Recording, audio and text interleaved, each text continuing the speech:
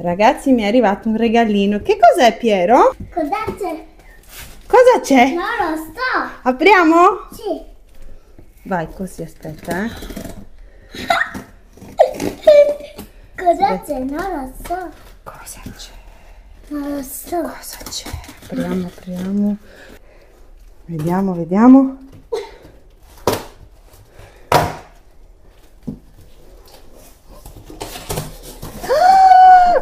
Nuova friggitrice della Cossori, guardate che bella!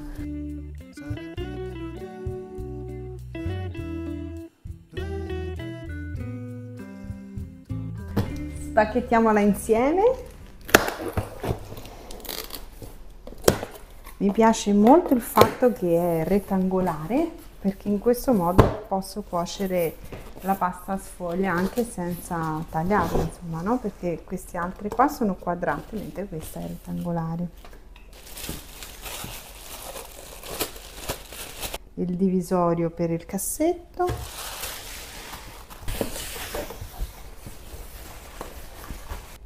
Eccole qua insieme. Questa è una friggitrice da 10 litri a cassetto, cosa che secondo me è comodissima perché eh, quelle proprio a fornetto dovete prendere una presina per togliere la teglia, altrimenti vi bruciate. Mentre queste così a cassetto non serve perché il manico non si scalda e quindi basta aprire così e prendere quello che ci serve per portare a tavola.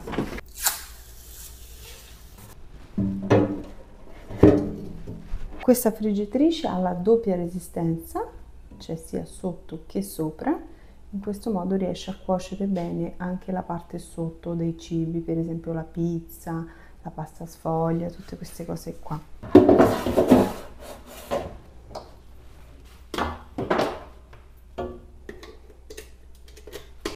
Accendiamo e guardate, questa cosa è bellissima.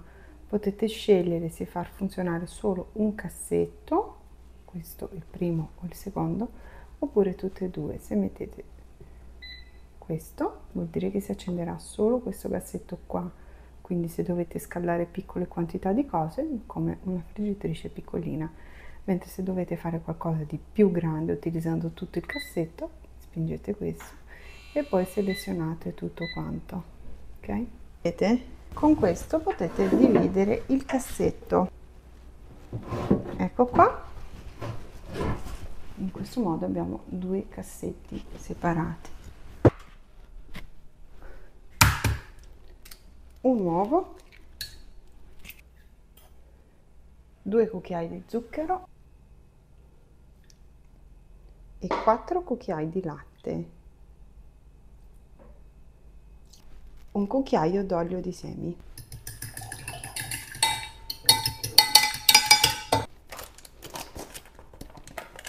Un cucchiaio di cacao amaro. E 3 cucchiai belli abbondanti di farina. Mescoliamo. Mescoliamo e in pochissimi minuti il pasto è pronto. Metto da parte patate. Uno e due. Due cucchiai d'olio d'oliva. finocchietto selvatico mescoliamo bene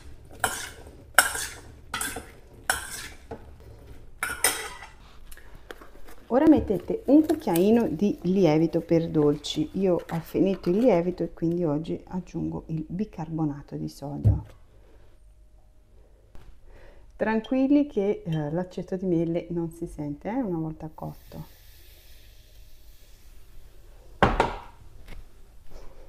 Mescoliamo da un lato le patate senza carta forno perché vengono meglio e senza ammucchiarle più di tanto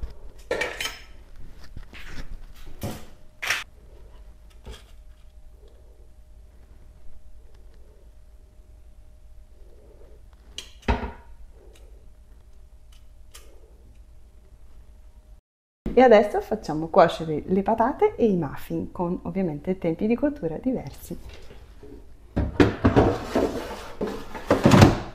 Dove ho messo le patate metto modalità air fry a 200 gradi per 25 minuti. Poi nella zona 2 metto bake a 160 gradi per 20 minuti e partiamo in questo libricino che vi arriva insieme alla friggitrice c'è tutto quanto spiegato. Zona grande zona doppia. Guardate un po' le zone doppie permettono di cucinare due cibi in modo diversi contemporaneamente e quindi impostate eh, la funzione che vi serve. Poi un'altra cosa, non mettere mai la carta a forno o altri rivestimenti leggeri nel cestello senza il cibo sopra perché la carta forno prende fuoco, quindi mi raccomando, se dovete cucinare qualcosa di molto leggero che la carta tende a svolazzare, mettete sopra un cucchiaio per uh, fare peso, insomma, e bloccarla. E vedete qua modalità air fry per le patate e modalità bake per uh, le tortine. Ovviamente uh, devono essere cotture più o meno compatibili, nel senso che eh, se mettiamo due torte, una con 20 minuti si cuocere, quell'altra con uh, 40 non va bene perché a questo punto quando andremo ad aprire la torta di 20 sarà pronta e quella di 40 si sgonfierà. Quindi insomma però per fare eh, cibi salati e cibi dolci in contemporanea secondo me è perfetta secondo me è fichissima questa cosa che possiamo cuocere due cibi insieme contemporaneamente con tempi e, e gradi diversi di cottura. Guardate un po' qui per esempio c'è quello che ho impostato per la modalità air fry 19 minuti mancano e qui invece la modalità bake mancano 13 minuti. Carina questa cosa vero mancano ancora 8 minuti alla fine della cottura dei muffins però io controllo perché sento già un profumino che sembra siano fatti.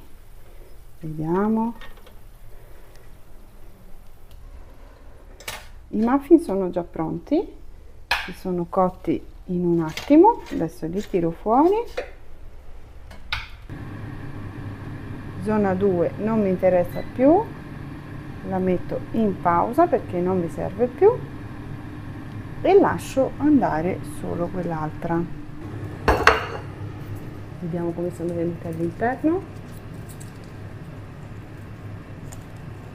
Ecco qua. Sotto si sono cotti perfettamente morbidissimi. Guardate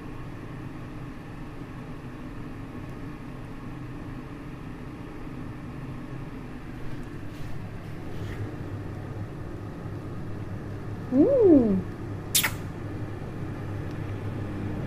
sono buonissimi. Controlliamo la cottura delle patate.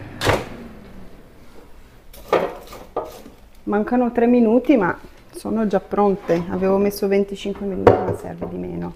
Ecco qua. Adesso le metto su un piatto e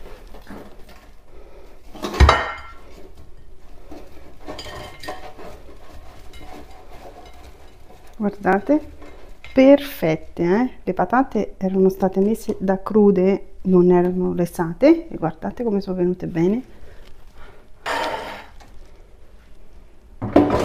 Poi una volta che l'avete spenta potete sfruttare il calore anche per scongelare le fette di pane, per esempio adesso rimane calda per un po', quindi se avete del pane in casa o un pezzettino di pizza lo potete lasciare all'interno per 10 minuti più o meno con la friggitrice spenta e ve lo scongela senza consumare insomma.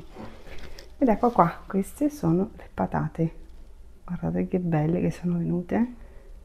Grazie Cosori!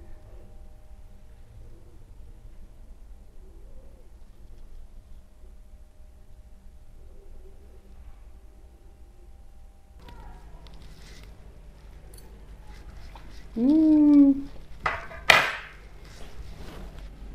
Buonissime. Io mi trovo molto bene con le friggitrici Cossori.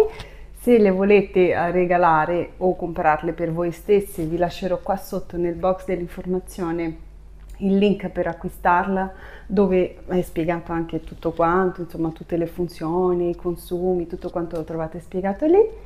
E mi piace moltissimo questo modello, quelli precedenti li ho sparsi un po' in giro per la famiglia, una mia suocera, una mia mamma, insomma. Che dire, spero che questo video vi sia utile e insomma fatemi sapere se l'acquisterete o meno oppure semplicemente fatemi sapere come vi trovate con le friggitrici di questo marchio, io mi trovo veramente bene. Un bacione, grande grande grande e ci rivediamo prestissimo sempre qui su Ricette di Gabri. Ciao ciao!